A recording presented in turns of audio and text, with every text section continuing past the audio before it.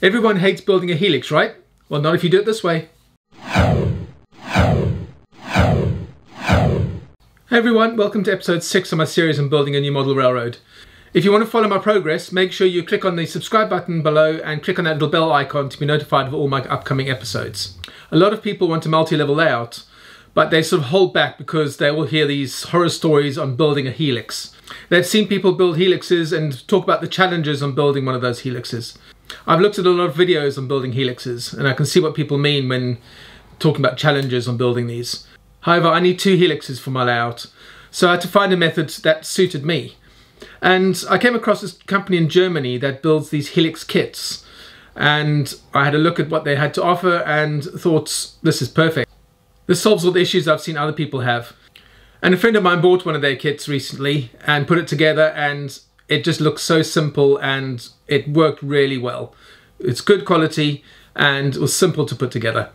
So I thought I might as well go for it and give them a try. So as you saw in episode 5, I did a bit of testing on what size helix I was going to order.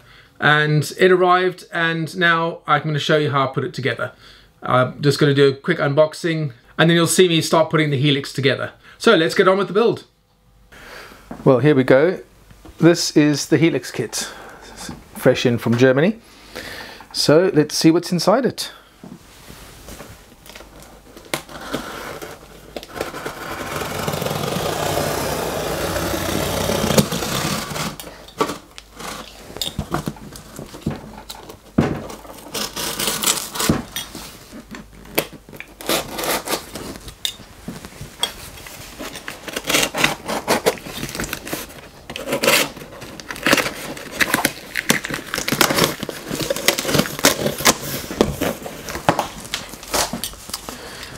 Okay, so here it is. So this is what the kit looks like.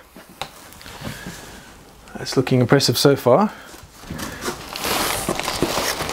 And so what I've ordered, I've ordered four and a half levels for the Helix.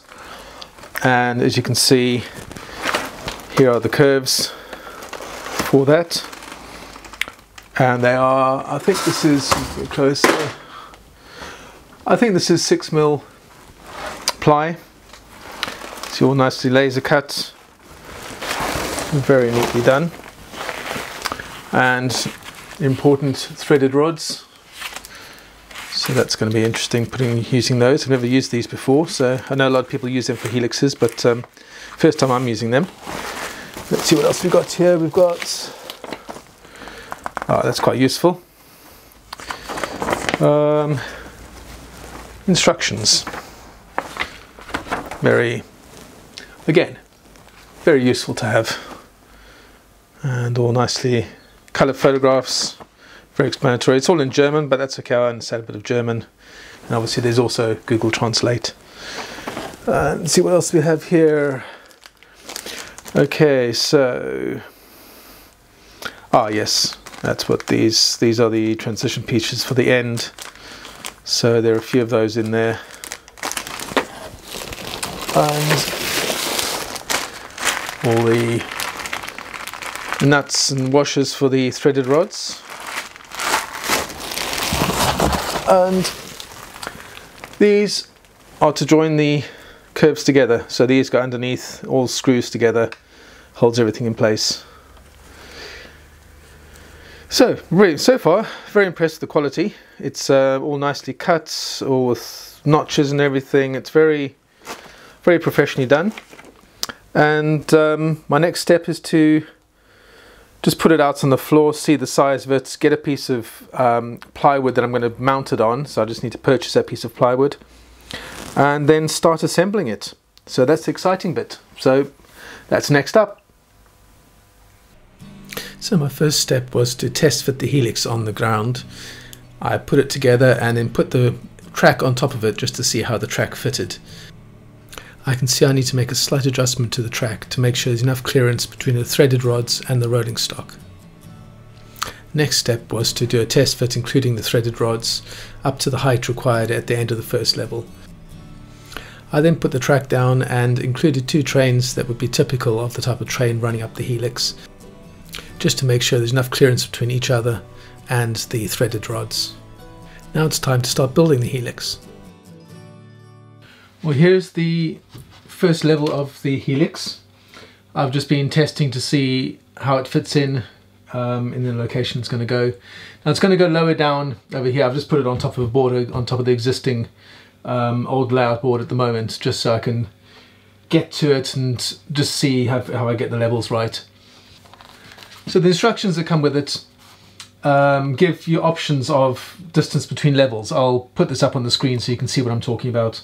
Um, but basically it just gives you different the different scales um, and then the distance between the levels and then depending on that level um, that you want, between, depending on that distance that you want, it then tells you what level to put each section at. Each of these threaded rods has got a, a letter on it, um, which I've torn off here, but you can basically, it basically goes from A to F. Um, and on their diagrams, they'll show you, so um, threaded rod B and the distance between the base level and the bottom of bottom of the plywood at level B and that distance is determined by your left column which is the distance between the levels. So it shows you for instance I'm choosing seven centimeters uh, between the levels.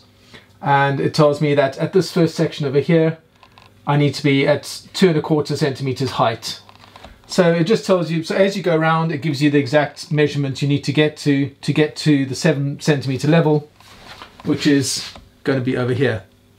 Now as you can see I'm using the track I'm using which is the Kato Unitrack and my highest cars which will be an Autorack and a well car and that'll determine the height. So I'm choosing a decent amount of clearance and so that will be my 7 centimeter between the levels. So 7 centimeters from the top of that to the top of that. And based on their their diagram here I've used the levels they've given at each threaded rod. So I just continue with that all the way around, just adjusting as I go using the measurements I give here. And eventually I'll get up to the level I need, which will be um, which will be four and a half levels high. So as you can see here, this is half a level and this is a complete level. So I've basically done one level so far. So as we go around, I'll just give you a overview of the levels I've got up to once I've done that, I'll know the exact height I'm going to be doing between the levels. So between the base base layer, which will be my um, staging yard level, up to the first level of the layout. So I know exactly what distance and I'll be able to set the level of the first level of the layout based on that. So once I've completed the helix, everything will be all varnished and protected from any moisture that comes in. So let's get started on the build. So what I'm using is from a Dremel. This is a sanding disc or type of sanding disc. And I'm going to be using this to get this, the nut down the threaded rod a lot quicker. So let's see how it works.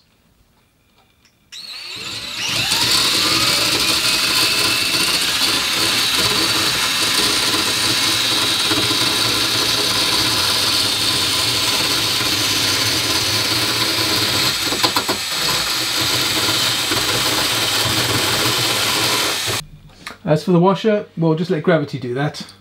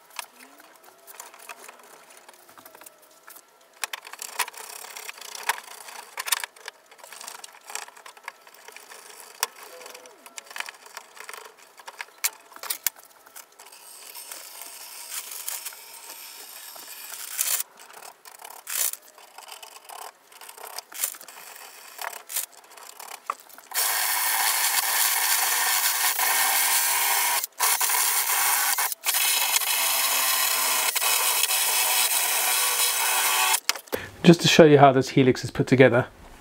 It starts off with a nut at the bottom. You adjust the height according to the scale given. Put the piece of ply on and thread the rod through it and then put another nut and a washer on top of it to hold it in place, same on the other side. And then you just repeat the step for each level. So again, a nut and a washer, the ply, then a washer and a nut, and you just carry on going as you go up. Now when you get to the end of a section, you want to join the other section, you'll use these little joining pieces. So it's a short piece of wood, and just so same level, same, same method. Again, you do nut, then this piece, then your sections, washer and nut, and then the same here. So you'll have this base plate over here with the nut and washer underneath it. Then a level, nut and washer to hold it in place, and then the next level will attach over here. And again, a nut and washer as you go along. And then you just carry on. So I'm just doing seven centimeters between the levels. So that's from measured from the top of this level to the top of that level, which is enough clearance for the auto racks and for the well cars. And I'm just going to carry that all the way around. I'm now on um, level two and um, we'll carry on.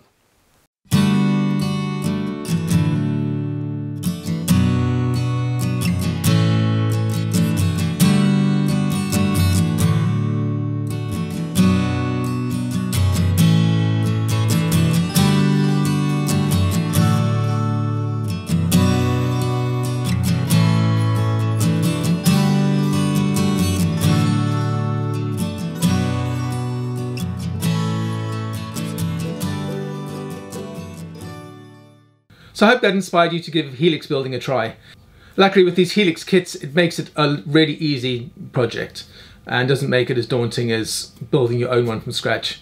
Obviously, it's up to you what you do.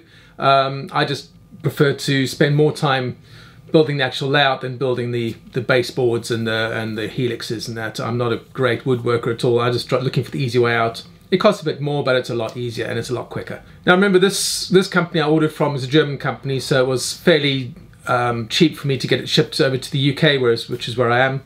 So for those of you in the United States, Canada and Australia, and where else you're watching this video, um, I'm sure there are companies in your country that provide Helix kits as well. I know in the States there are numerous companies that do baseboard kits.